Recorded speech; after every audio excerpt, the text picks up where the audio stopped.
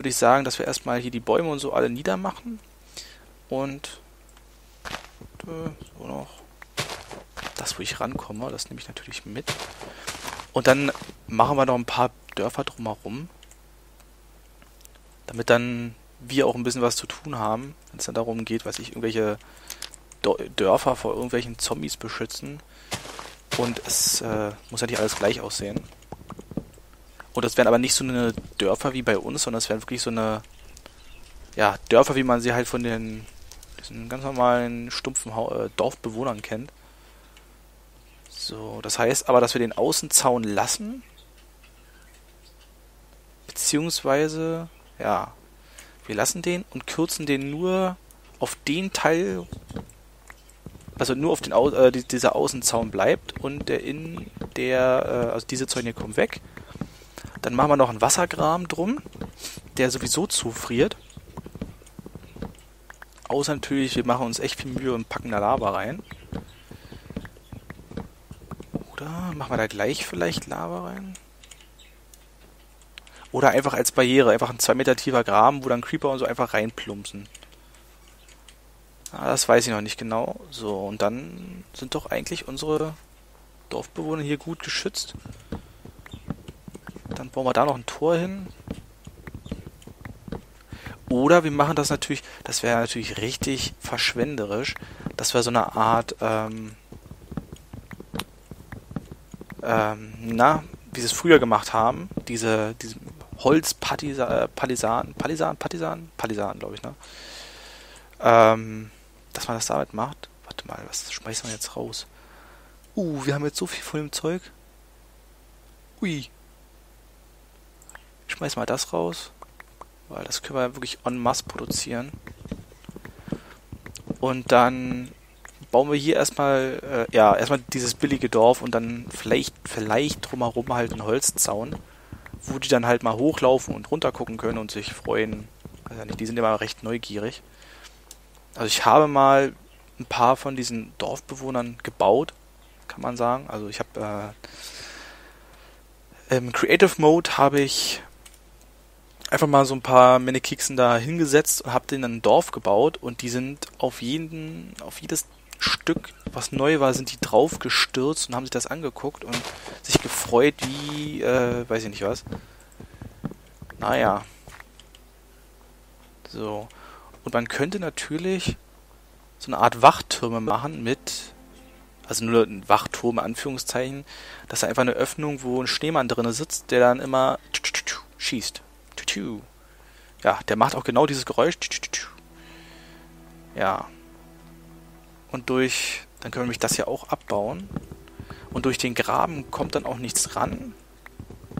Und dann baut man so eine Art Zugbrücke, also das sieht nur aus wie eine Zugbrücke und ein Tor dahinter. Was dann einfach nur per Knopfdruck zu öffnen geht. Das heißt, wenn dann irgendwann mal später hier irgendwer lang friemelt, dann weiß er, ah, stimmt, da war noch was. Und das wäre sogar ein schönes großes Dorf. Dass man einfach, ich zeige das mal, so. Und es gibt ja auch nicht mehr den Eingang, äh, sondern bloß noch den da hinten. Den lassen wir jetzt bloß, weil's... Weil wir heute mal gut drauf sind. Oh. Ja. Und dann kommen da die fiesen Fotzenkopf-Zombies nicht mehr hoch. Gut. Und dann schauen wir uns das mal an, wie das da drüben aussieht. Und dann werde ich mir auch mal äh, ein bisschen was aufschreiben zu. Ja, also den Schienen muss man bloß folgen. Ihr wisst ja, ich habe ja ein paar von den, äh, ja, von diesen digitalen Personen mit Druckstellen am Kopf, wie ich jetzt immer ganz gerne sage, ähm, habe ich ein paar davon entführt aus ihrem Dorf. Und äh, das würde ich wieder machen. Da wird dann wieder so eine Lore dahin geschickt. Und die wird dann hierher und dann diesmal aber in das andere Dorf umgeleitet. Und wenn dann da ein Haus steht, also ein Gebäude, das muss eine Tür haben, das muss äh, Dach haben. Und dann fühlen die sich da schon total pudelwohl drin. Ne? Das muss nicht mal einen Ausbau haben. Habt ihr gesehen, da war gerade der Berg weg. Ja, und dann züchten wir uns da unsere eigenen kleinen Dörfer, unsere Nebendörfer. Und dann haben wir immer entweder Nachschub an Problemen, weil da irgendwer zum Zombie geworden ist. Und halt auch Nachschub an äh, ja, Dorfbewohnern. Das Gute ist, das ist auch gute 40 Block entfernt von unserem jetzigen Dorf.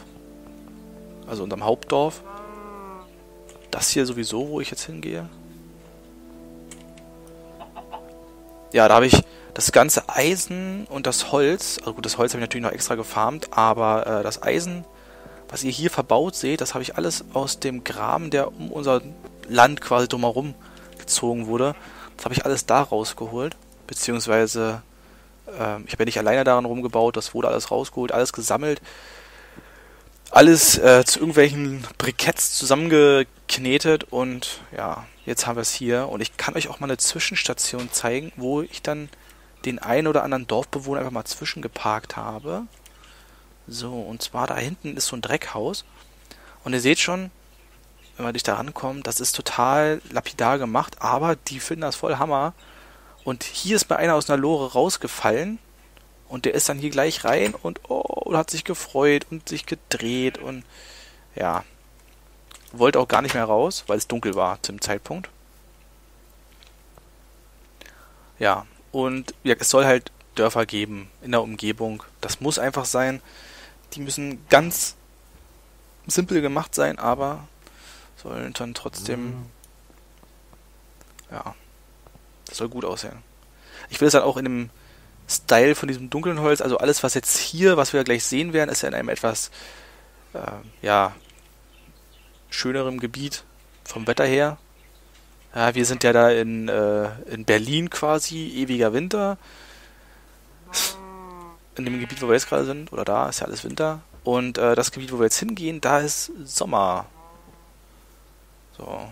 Und da sind natürlich auch die ganzen Bäume heller. Und weil das nicht ganz passen würde, werden wir hier alles damit Stein machen. Und halt mit dem dunklen Holz. Das heißt, wir müssen auch ein bisschen wieder Raub hier, hier äh, Rohstoffraub betreiben. Boah, dieser Wald, ne? Wenn wir den einfach nieder... Oh, ein schwarzes Schaf. Und noch ein... Sch hey, schwarze Schafe? Ich habe leider nichts dabei, um die zu züchten. Ja, und hier ist das Dorf. Und ähm, das steht auch bei Wikipedia, wie viele Blöcke was darstellen. Und ich kann euch mal zeigen, ihr kennt das Dorf ja, wie kam er von der anderen Seite da rein? Habe ich die hier rausgeholt. Und ich weiß gar nicht, ob das Haus habe ich neu gemacht. Das habe ich auf jeden Fall neu gemacht. Da sehe ich gerade. Wohnt hier noch irgendwer drin? Hallo? Also als wir das Dorf verlassen haben, da waren hier noch Leute drin. Aber ich weiß ja nicht, was aus denen geworden ist. Hier ist einer. Ein wunderschön. Hier seht ihr das Dorf oder das Haus gleich adoptiert. Hier ist auch keiner drin. Hm.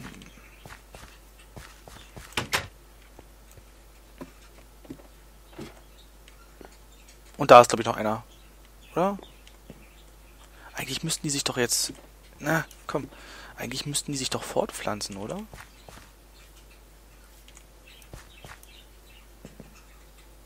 Oh, guck mal, wie viel Weizen hier ist. Da können wir ja doch ein bisschen züchten.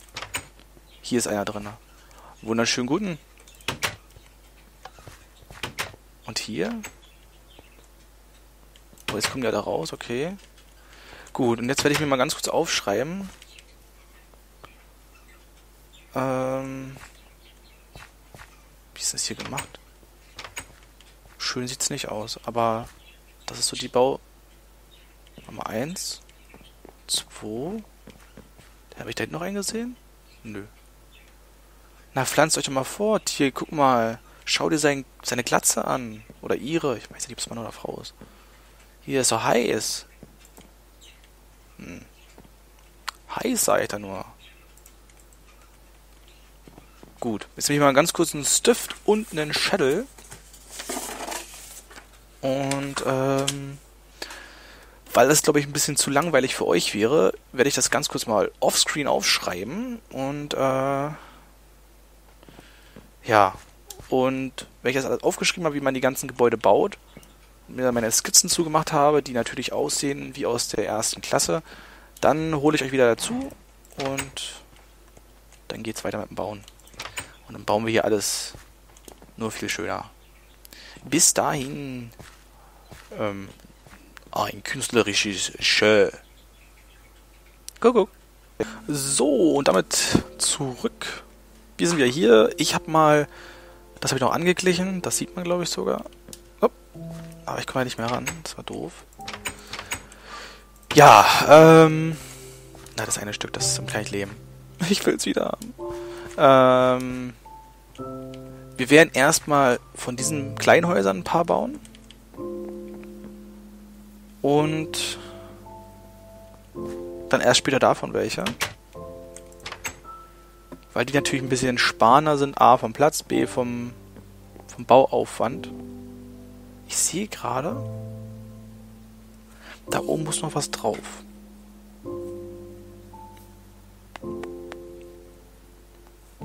Aber warte mal, das sieht doch dann blöd aus. Habe ich das da gebaut? Das glaube ich aber nicht. Einfach mal behaupten, ah, das war ich nicht. Nö, nö, nö, nö. Das könnte vielleicht erklären, warum da keiner rein will.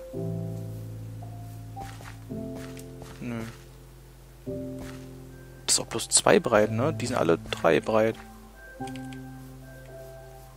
Und das ist auch so. Tief, besser gesagt. Die sind ja tief und die anderen... Ich guck gerade. Das Haus war aber schon da gewesen.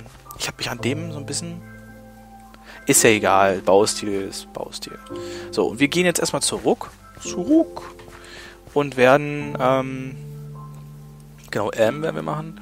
Wir werden dem Weg dahin hier mal im Wald ein bisschen roden. Ich gucke gerade. Was können wir eigentlich loswerden? So. Damit es nicht ganz so hässlich aussieht, gehen wir hier irgendwo einfach mal rein. Oh, guck mal. Ein Hundi. Ein wildes. Und wir werden jetzt einfach mal ein paar Bäume kaputt klopfen. Denn dieses Holz werden wir noch ganz gut gebrauchen können. So ein Stack oder so. Das tut dem Baum ja nicht weh. Davon abgesehen, dass wir ihn gerade abholzen. Soll sie nicht so haben. Ne? So.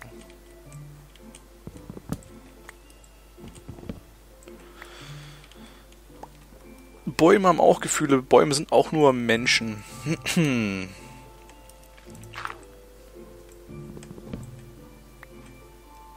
Außerdem sind Bäume, äh, außerdem sind Bäume ja hart im Leben. Also sollten sie was sein. Ihr könnt ja gerne mal so einen Eigenversuch starten. Einfach mal mit der blanken Faust gegen den Baum schlagen. Genau, da werdet ihr nämlich genau dieses Geräusch... Einen Augenblick mal. Seid ruhig äh, werde genau dieses Geräusch machen, ein, ein, Quietschen, ein hohes Quietschen, weil es bestimmt ganz doll wehtut.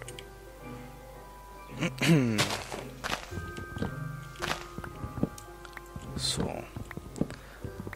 Denke mal, wir werden hier nie wieder irgendwas machen. Also wir werden hier wahrscheinlich nie was bauen. Das heißt, uns stört das gar nicht, wenn wir hier alles abholzen.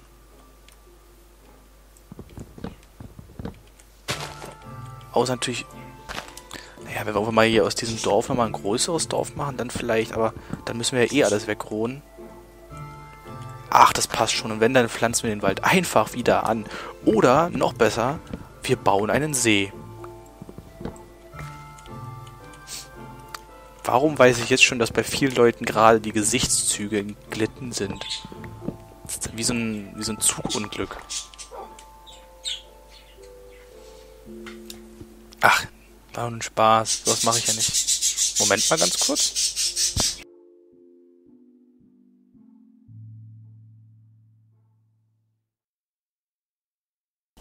So.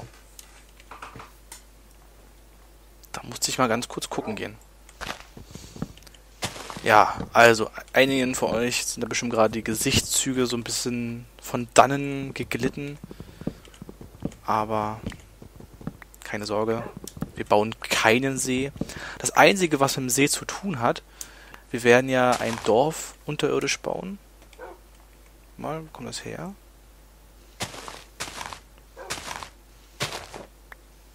Okay. Und äh, dafür müssen wir den See ein bisschen nach unten erweitern. Aber das ist ja nur ausgraben quasi, das ist ja nicht wirklich. Wir bauen ja nicht wirklich einen See. So. Gut. Damit haben wir schon mal wieder ein bisschen was zusammen und können jetzt freudestrahlend weiterziehen, wenn ich den Weg finde. Und ich darf nicht so viel hüppeln. Wow. Guck mal, wie böse der guckt. Hm, böser Blick.